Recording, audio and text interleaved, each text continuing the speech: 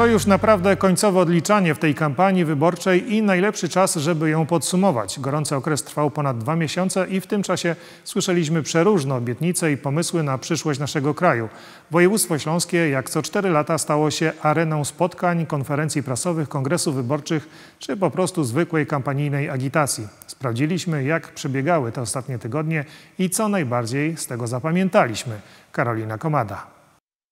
Oficjalnie trwało od 9 sierpnia, poprzedziła ją jednak nieoficjalna prekampania.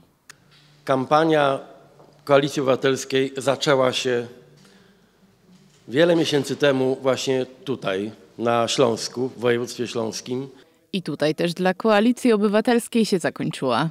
To, że tyle dni i tyle tygodni w sumie spędziłem na Śląsku i w województwie śląskim, wyrasta, to, to, wynika z mojego y, głębokiego przekonania, że tu na Śląsku, przede wszystkim w oparciu o samorząd, o te realne, prawdziwe siły śląskie, będzie można y, realizować najambitniejsze przemysłowe i technologiczne projekty w Europie.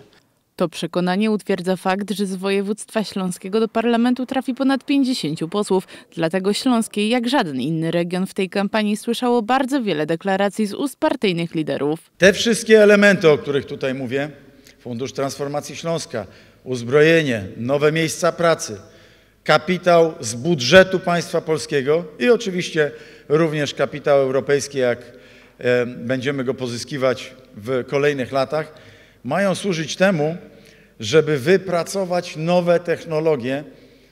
Obie drużyny ta od Pinokia i od Rudego walczyły za wzięcie o uznanie. W tym mandatowym wyścigu wyjątkowe wejście, a raczej przejazd zaliczyła w tym czasie Konfederacja. Polacy przez ostatnie 30 lat byli jednymi z najszybciej rozwijających się gospodarczo narodów na świecie. Przez 30 lat. Bo jesteśmy pracowici, jesteśmy przedsiębiorczy, jesteśmy głodni sukcesu. Na siłę spokoju postawiła za to trzecia droga. Panowie, jak się czujecie w Rybniku? Rezygnując z widowisk na rzecz kameralnych spotkań. To też jest tak nowa jakość w polityce, gdzie każdy ma swoją przestrzeń, nikt nikomu nie zabiera własnej tożsamości, ale dodaje coś e, od siebie.